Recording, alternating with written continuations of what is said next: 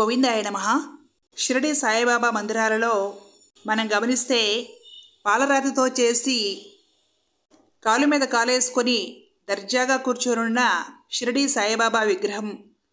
పాదాల వద్ద రెండు వైపులా సనాతన ధర్మంలోని దేవీ దేవతల విగ్రహాలు ఉంచి అవమానించడం కనపడుతుంది.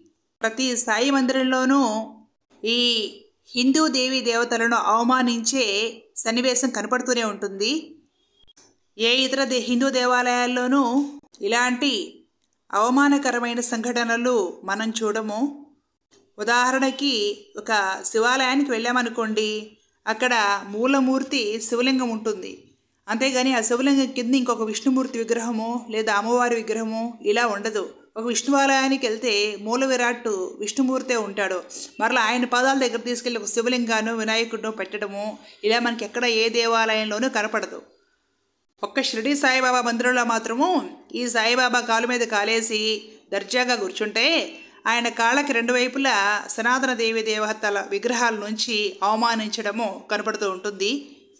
అసలు ఈ సాయిబాబా మందిరాలు మెయింటైన్ చేసే వాళ్ళకి కానీ లేదా సాయి భక్తులకు కానీ ఇలాంటి బుద్ధి ఎందుకు కలిగింది? ఇలా ఒక మహమ్మదీయ ఫకీరు పాదాల దగ్గర సనాతన ధర్మంలోని దేవీ దేవతలను ఉంచి ఆ విగ్రహాలను ఉంచి ఏమాత్రము అధర్మము అనే ఒక విచారం కానీ పాపభీతి కానీ లేకుండా అంత లెక్క లేకుండా ఆ సాయి మందిరాలను అలా నడుపుతూ ఉన్నారంటే ఇలాంటి దురదృష్టకరమైన దరిద్రపు వైఖరికి కారణం ఏమై ఉంటుంది?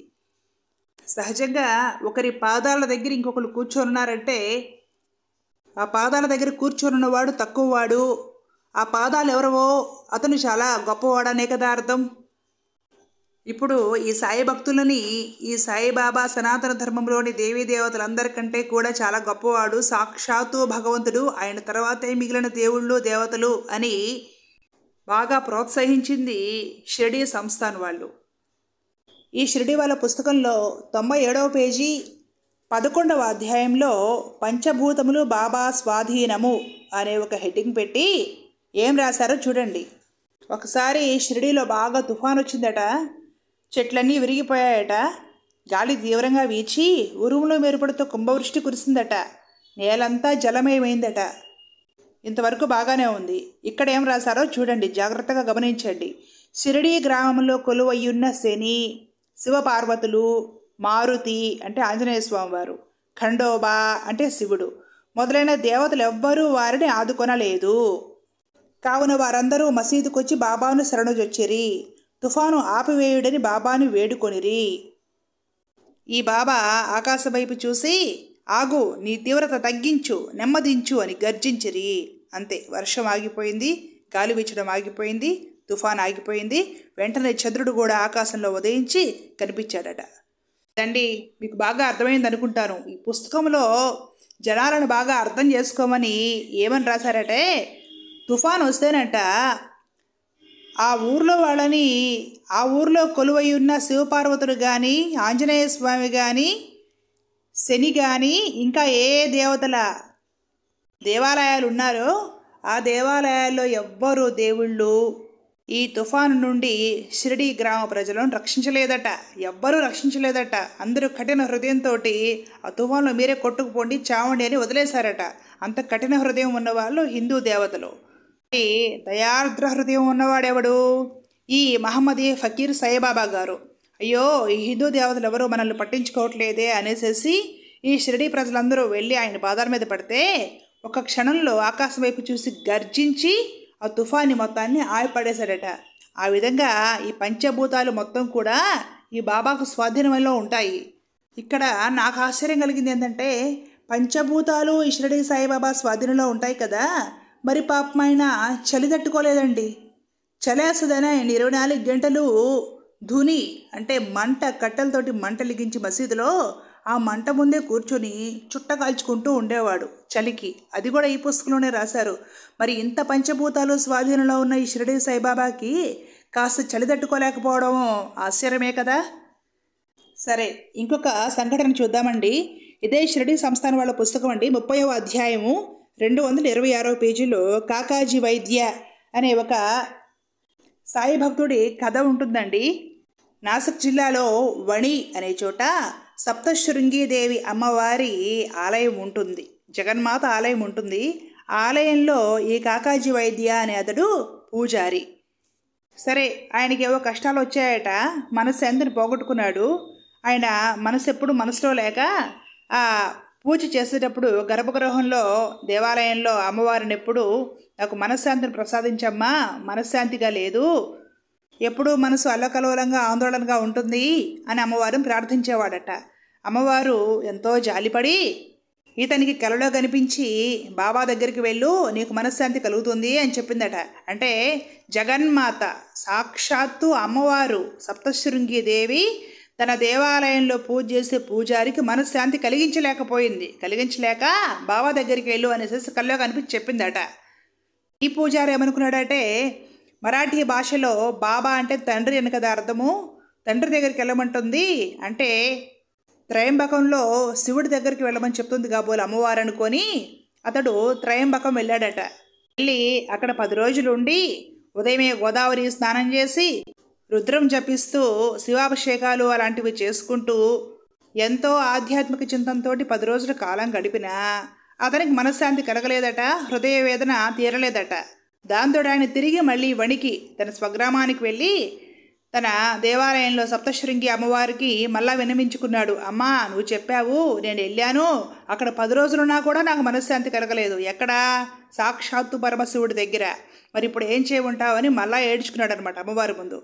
దాంతో అమ్మవారు మళ్ళా ఆ రోజు రాత్రి స్వప్నంలో కనిపించి బాబా అంటే శివుడు కాదు. షిరిడి వెళ్ళు. షిరిడి మసీదులో ఒక ఫకీర్ ఉన్నాడు. ఆ ఫకీర్ దగ్గరికి వెళితే నీకు మనశ్శాంతి కలుగుతుంది అని సాక్షాత్తు జగన్మాత అమ్మవారు సెలవిచ్చిందటండి అంతే. వెంటనే ఇతడు ఆ అమ్మవారిని దేవాలయాన్ని వదిలేసి ఎక్కడుందా షిరిడి అని వెతుక్కుంటూ వెళ్ళి ఆ మసీదులో ఈ మహమ్మదీయ ఫకీర్ గారిని చేరిన తర్వాత అప్పుడు ఆయనకి మనశ్శాంతి కలిగిందట. ఈ పూజారికి సాక్షాత్తు జగన్మాత సప్తశృంగిదేవి అమ్మవారి ఆలయంలో పనిచేసే ఒక బ్రాహ్మణ పూజారికి మనశ్శాంతి ఆయన నిరంతరం ఆరాధించి ఆ సప్తశృంగిదేవి అమ్మవారు కలిగించలేకపోయింది. అక్కడి నుంచి త్రయంబకం వెళ్ళి పది రోజులు రుద్రం చదివి శివారాధన చేస్తే ఆ పరమశివుడు కూడా ఇతనికి మనశ్శాంతి కలిగించలేకపోయాడు. వాళ్ళిద్దరూ ఫెయిల్ అయ్యారు ఒక పూజారికి మనశ్శాంతి కలిగించడంలో. ఎవరు సక్సెస్ అయ్యారు? ఈ షిరిడీలో ఉన్న ఫకీర్ గారట ఇతనికి మనశ్శాంతి కలిగించగలిగాడట. ఇంకో చోట ఏమనుంటుందంటే ఒక భక్తుడికి ఇలాగే ఒక వైష్ణవ భక్తుడికి శ్రీమన్నారాయణుడి కళలో కనిపించి నా వల్ల కాదు నీకు మోక్షం ప్రసాదించడము. షిరిడి వేళ్ళు. ఆ షిరిడిలో ఉన్న మసీదులో ఫకీర్ నీకు మోక్షం ప్రసాదిస్తాడు అనేసి చెబితే ఆ వైష్ణవ భక్తుడు శ్రీమన్నారాయణుడిని ఆరాధించడం మారేసి వదిలేసి షిరిడి వెళ్ళి ఫకీర్ దగ్గర మోక్షం పొందినట్లుగా కూడా ఒక కథ ఉంటుంది. ఏకరాల భరద్వాజ గారు రచించిన శ్రీ సాయి లీలామృతము డెబ్బై తొమ్మిదవ పేజీ అండి. ఆయన రాస్తున్నాడు. అందుకే సప్తశృంగీదేవి శ్రీమన్నారాయణుడు తమ భక్తులను సాయి వద్దకు పంపారు. అండి అమ్మవారు పరమశివుడు శ్రీమన్నారాయణుడు వాళ్ళ వాళ్ళ భక్తుల్ని ఉద్ధరించుకోవడము వాళ్ళ వాళ్ళ భక్తులకు శ్రేయస్సు కలిగించడము వాళ్ళ వల్ల కాక వాళ్ళకు చేతగాక ఆ భక్తులకు కలలో కనిపించి చెప్పి పురమాయించి మరి ఈ షిరడి సమాధి షిరడి మసీదులో ఉన్న ఫకీర్ గారి దగ్గరికి పంపించారట.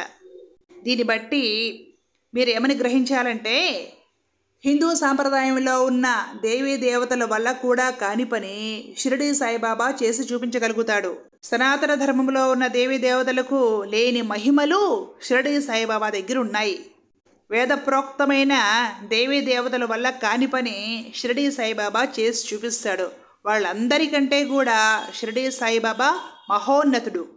ఆయా భక్తులు ఆరాధించిన ఆయా దేవతలు తమ భక్తుల కష్టాలు తీర్చలేకపోయారు. కనీసం మనశ్శాంతి కూడా ప్రసాదించలేకపోయారు. వాళ్ళందరూ కూడా ఆయా దేవతలను వదిలేసి షిరిడీ చేరి ఈ ఫకీర్ గారి దగ్గర మనశ్శాంతిని మోక్షాన్ని పొందారట. అది సంక్షిప్తంగా ఈ సంఘటనల సారాంశము. ఇలాంటి సంఘటనల గురించి ఈ పుస్తకంలో ఇంకా చాలా రాశారండి. ఈ దిక్కుమాలన పుస్తకం పారాయణల ఫలితంగా ఈ సాయి భక్తులకి ఈ సాయిబాబా మందిరాలు నడిపే వాళ్ళకి ఇలాంటి దిక్కుమాలన బుద్ధులు పుట్టి సనాతన ధర్మంలో దేవీ దేవతలందరికంటే కూడా మహోన్నతుడు ఈ షిరిడీలో ఫకీరు సాయిబాబా.